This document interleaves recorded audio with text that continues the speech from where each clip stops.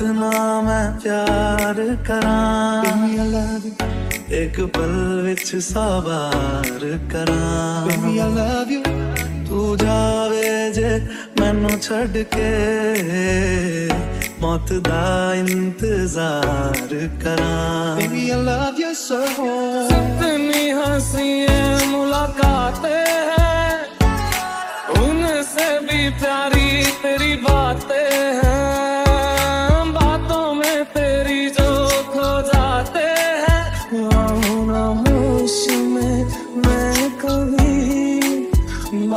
में है तेरी ज़िंदगी भर